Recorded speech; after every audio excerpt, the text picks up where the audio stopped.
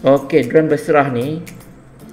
Setelah didaftarkan di senarai variti kebangsaan Jabatan Pertanian dengan pendaftaran di 145 atau nama panggilan yang kita boleh tahu sebagai durian berserah atau durian Tuan Mek Hijau.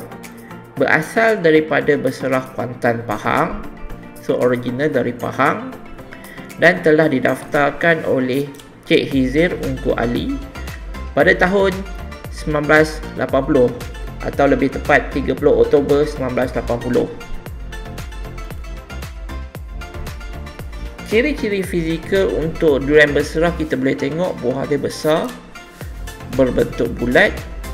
Yang penting warna kulitnya hijau pekat dan kulitnya sederhana tebal. So maksudnya sederhana tebal senang dibuka.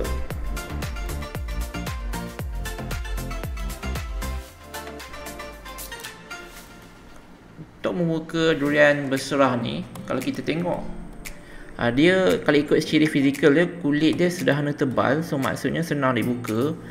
So kalau kita tengok sini nampak bila kita kopek sini dia pangsa dia mudah terbuka tak perlu kita apa kopek banyak kali. So maksudnya ah, nampak. So kopek di sini kita dia senang terbuka Nah, kita dah nampak isi dia macam mana kan. So jom kita tengok.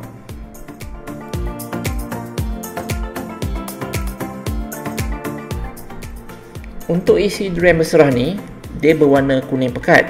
So kalau kita tengok di sini, kuning dia memang sangat pekat. Untuk biji pula, biji dia berbiji penuh dan sederhana besar. Dan rasanya, rasanya sangat-sangat lemak manis. So kalau kita tengok di sini dia punya kedutan isinya tu memang menunjukkan memang buah ni sangat-sangat sedap